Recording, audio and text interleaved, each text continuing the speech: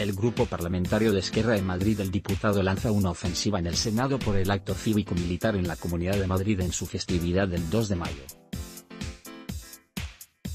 Es claro que Isabel Díaz Ayuso saca de sus casillas a los líderes independentistas. RC ha registrado una batería de preguntas en el Senado en la que pide explicaciones al Ministerio de Defensa por la parada militar del 2 de mayo presidida por la presidenta de Madrid, Isabel Díaz Ayuso. Preguntando por los precedentes en los que dirigentes autonómicos pasan revista a las tropas, y cuál fue el coste total del despliegue de recursos militares. Cabe recordar que con motivo del Día de la Comunidad de Madrid el 2 de mayo se celebró un concurrido y aplaudido acto cívico-militar en el que Ayuso realizó una pequeña parada militar, que causó revuelo en redes sociales al estar la dirigente madrileña subida en una tarima y pasando revista a las tropas.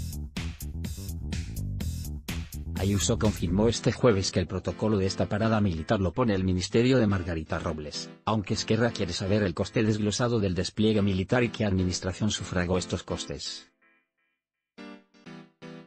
Asimismo, RF pregunta en el Senado si el Ministerio de Defensa puede proporcionar una explicación detallada de por qué se consideró apropiado desplegar honores militares en un acto que tradicionalmente es de carácter civil. En este contexto, los republicanos catalanes se interesan por los criterios específicos que utiliza el ministerio dirigido por Robles para determinar cuándo y cómo se deben rendir honores militares a los presidentes de comunidades autónomas en actos que no son militares.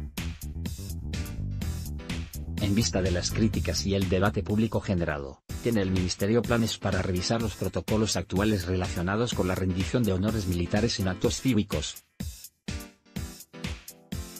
Para asegurar que estos reflejen adecuadamente el espíritu y la naturaleza de cada conmemoración, pregunta a su vez el grupo que lidera Gabriel Rufián.